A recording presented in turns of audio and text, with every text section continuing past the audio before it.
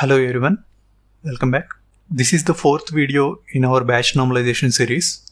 In the last three videos, we discussed about the batch normalization in detail and we also saw how batch normalization works during the training, how the gradients are getting calculated, we derived the gradients, and we also saw how batch normalization works during testing or inference.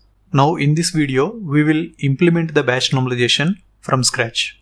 I am using PyTorch toolbox to load the model, training loops, evaluation, all of these things. But the batch normalization layer we will implement from scratch by ourselves. Now let us see one by one.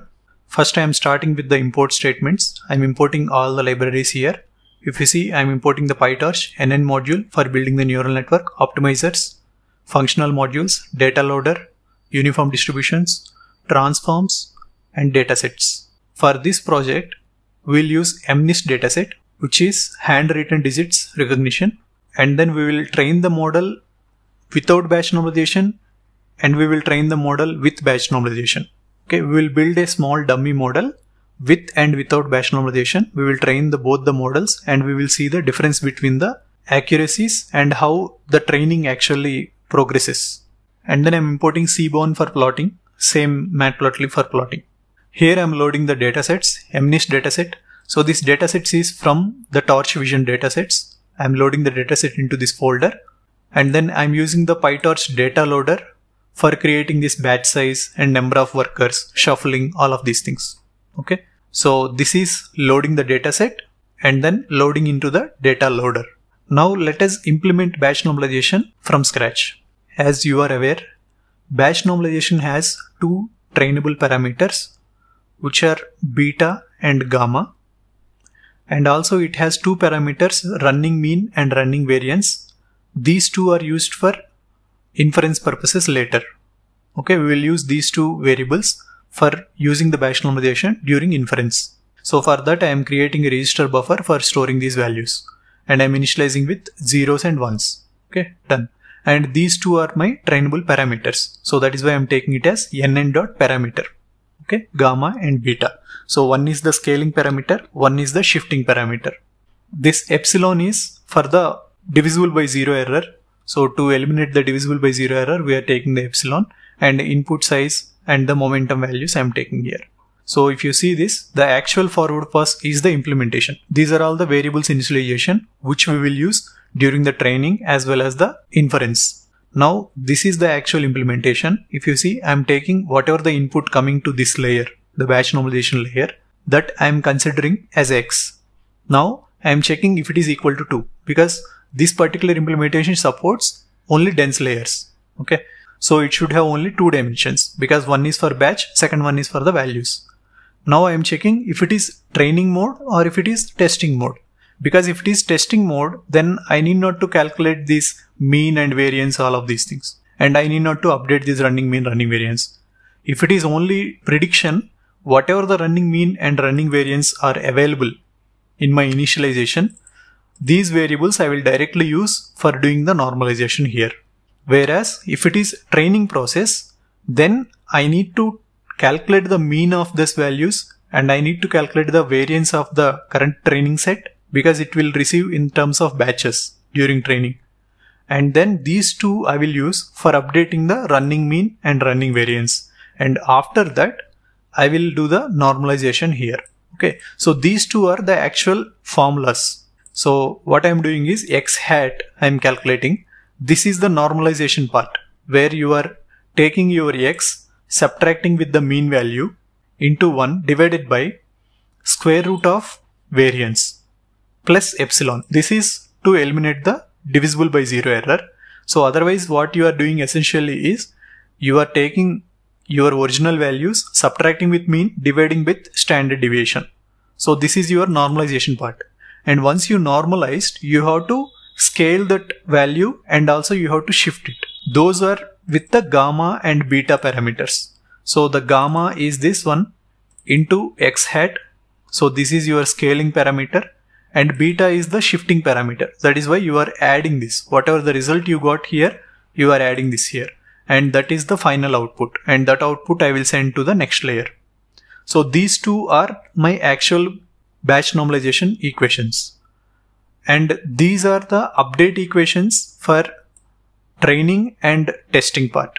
What to use the mean and variance. During the training, what should we do with these values? And during testing, what should we do? So during training, we get a batch of data set. So we take the mean of them, that will be our mean. And variance also, you calculate the variance in that batch. That is your variance. This is during the training process. Whereas during the testing process, you will not have batch. So you will use the running mean and running variance as your mean and variance. And then during the training, you need to update these running mean and running variance as well. So that is what we have discussed in the previous lecture. So these running mean and running variance, these gets updated during the training for every epoch, for every iteration. And what are the last value we got, those values we will use for testing later. Okay. So that means this running mean and variance indicates the mean and variance across the total data set. Now running mean I am updating based on the momentum. So this momentum is used to decide how much of the portion I want to keep from the previous batch and how much of the weightage I should give for the current batch mean because this is running mean, right? So this is like a sliding window kind of thing. So this based on this momentum value, this weightage we are giving to the values which we have seen so far and the weightage we are giving for the current mean. Same thing for the variance. Momentum into running variance and 1 minus momentum into the current batch variance. So that is what we are actually doing it here. So this is the implementation of batch normalization in Python. Okay, we implemented everything by our own. Now I am loading this as part of NN module from the PyTorch because if I load this as part of this, then I can use this layer directly in my neural network definition and the neural network training process, gradient calculation, everything works just like the same as all the inbuilt layers. That is why I'm inheriting this particular class from NN module. If you see this, I am not implementing the backward pass here. I only implemented the forward pass because the moment I inherited this, based on these equations or computations, whatever we are performing here, and we mentioned the parameters gamma and beta, the backward pass automatically taken care by the PyTorch module. So it will calculate the gradients according to these equations. Of course, we derived the gradients in the last class, but implementing them and all, it is a redundant process. There is no point in implementing. Even this implementing from scratch also, there is no point, but we are doing this to understand the actual computations happening in batch normalization. Otherwise, no one will ask you to implement from scratch all of these things. So we are doing this to understand the internal working of batch normalization layer. So when you do in deep hands-on from your own, then only you can understand the concept clearly. So that is why we are doing it here. So this is the batch normalization implementation. And then the remaining part is same. I am doing two models here. One is the simple net and second one is simple net with batch normalization. I am using only two hidden layers and the final layer is the output layer. So three linear layers. Linear means dense layers. So this is MNIST dataset. So the input will be flattened and then pass it to this one. 28 by 28 784 pixels will come here because that is the image dataset. And then 64 channels will be there in this particular layer output channels. And after that the 64 will become 128 and 128 become 10 because this is having 10 labels 10 classes 0 to 9 so this is my initialization of the network.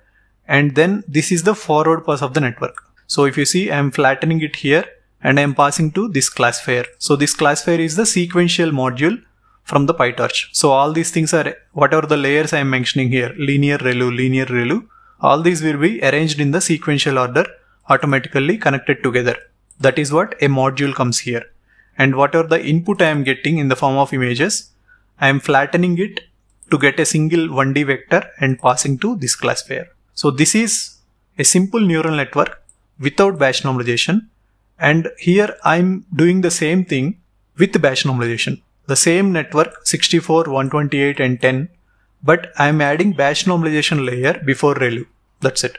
So if you see, these are the two model implementations, one with batch normalization and one without batch normalization. And we will train both these models in the same dataset for the same batches and iterations and then see the difference in the training. Now I am initializing both the models. So this is the definition. Now I am initializing both the models without batch norm and network with batch norm. Okay. And I am initializing the optimizers and loss functions. So I'm using the same loss function for both of them and using the optimizers, initializing the optimizers for both this one with batch normalization, without batch normalization. Learning rate is 0.01. So these are the two optimizers for both the networks. Now I am keeping the history of loss values here in the list. These histories we will use to plot the curves later. I am training for only 10 epochs and then I will show you for both the loss functions how they actually decrease. This is the actual training loop. For every epoch, I am loading the dataset because the whole dataset when you are loading, you load in batches. So that is this loader will do. We kept the batch size as 512 batch size as 512 and number of workers 4. Now in this training loop, one by one batch will load and the inputs and labels because every batch will have input and ground truth. And then this input will go to your network, neural network, whatever the output you got, with that output and your labels, you calculate the loss and you backpropagate and then optimize the weights. That means update the parameters. That is what it will do. Done. This is for normal model without the batch normalization. Same thing we will do for the model with batch normalization. Okay. If you see the same set of data, I am passing to both the models. That is why I kept this two training processes inside the same batch. Because if you want to compare apple to apple, you have to put the same batches. So that is why I'm doing both the trainings inside the same batch for every batch. And then what are the loss I got here for both the functions, I am appending to this particular list I have added here and then I am calculating the running loss and running loss for batch normalization. This is just for the logging purpose. And after that, once the training is completed, I am actually evaluating it on one some dummy input and getting the activation maps. Okay, so this is just to show you without batch normalization how the output activations appear and with normalization how the output appears from the particular layer. That is what we are doing it here. Okay, so if you see this here, right, our classifier 0 means the first layer in our classifier, you are passing the inputs and then you got some output A and after that, that output you are actually showing it here. And the second way what you are doing is from the classifier whatever output you got, so that one you are plotting it here. So both the things are activation functions from the both the classifiers. And later what I'm doing is I'm plotting both the loss functions. So hope you understood the flow. Now let us run all the blocks one by one. Okay. So this we already ran. Now our implementation and then our initialization of the models and after that initialization of the loss function and optimizer and the training loop. Now the training loop will happen one by one. So this is the loss and this is the loss for batch normalization layer. This is the loss for the original model without batch normalization and this is the loss for the model with batch normalization. So if you see the loss has reduced very fast comparatively, right? You can see the loss is 2.2 in the second epoch. Here it is already 1.3, 2.1, 0.836. So you can see the difference, but we will see in the plot also. So we are training for 10 epochs now. And once the 10 epochs are completed, then the graphs will be plotted.